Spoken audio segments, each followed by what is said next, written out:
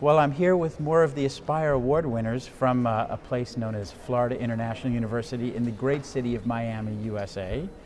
Uh, and uh, it is really nice uh, to be able to talk with you. And, and why don't we talk a little bit about what it was you won the award for and, and why it's really important to the university? The, we have a fantastic leader in John Rock, who prior to coming to Miami was in New Orleans with LSU when Katrina hit and realized the importance of a medical school's involvement in the community and its accountability to this, the community itself. So he allowed us to develop a curriculum based upon his mission that we were going to be not only just a community-based or community-dependent uh, medical school, but one that was socially accountable to improve the health of a community and ready there if there was any, any disaster.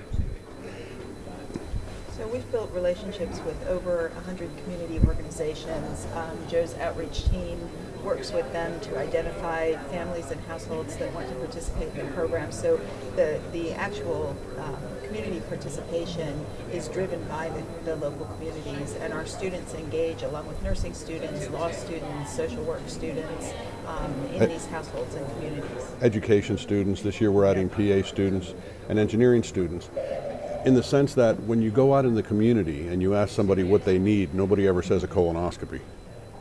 They say other needs, the social determinants of health. And to be able to teach our students both population health and the social determinants of health and then throw them into it to deal with those complexities, to be able to improve the health of the individuals.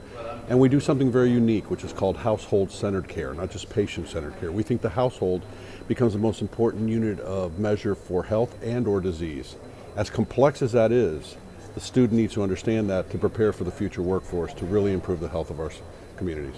Well, it sounds like you're very interprofessional, probably involving more professions than many other places do.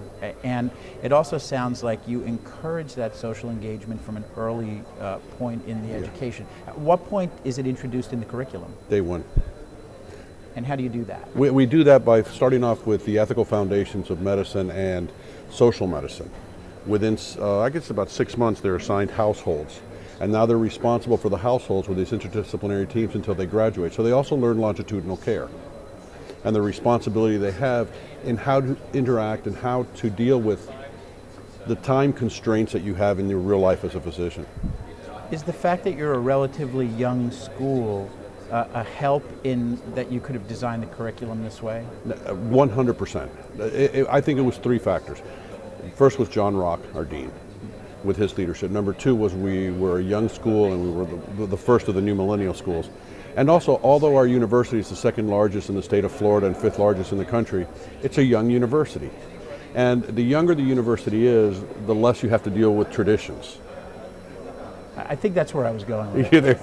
now, now, let's sort of continue. with that program as the foundation yeah. of the education system. And, and, let's let's sort of go along that line. You're a young school, but you've won an Aspire Award. Uh, what does that mean to you? It, it's it's we're we're odd, we're incredibly humbled, and and we we know that we have to keep trying to get it right, but we know that you have to take chances and you have to go out there. And the fact that AMEE and the Aspire Award and the Academy, this is such a refreshing thing for me to be able to deal with other universities around the world that are actually doing this and actually doing things that we wish we could be doing.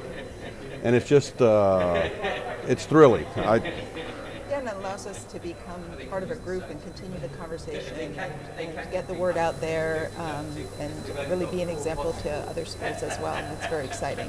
It also sounds like you embrace the students as partners. They're not oh, just the students. Absolutely. They are. These are mature college graduates and they need to be treated as such. And we need their input from everything from curriculum. Are we doing the outreach correctly? What suggestions do you have? How do we make this better?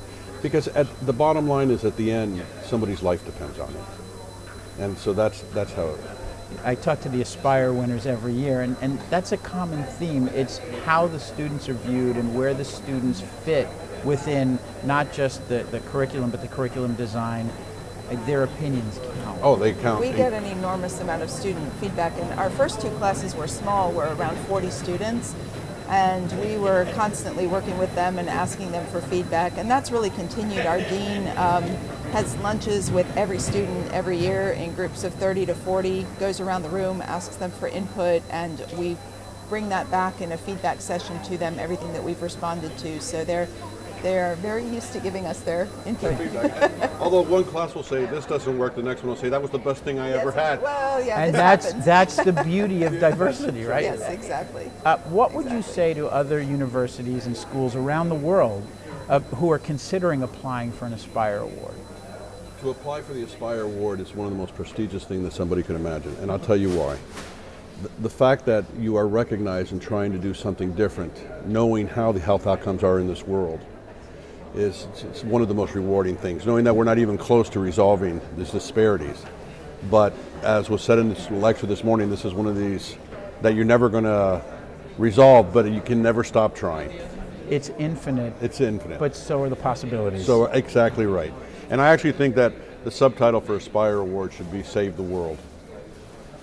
one student at a time. One student at a time. That's exactly right. We should leave here and open up a shop. Let's do that. Come on.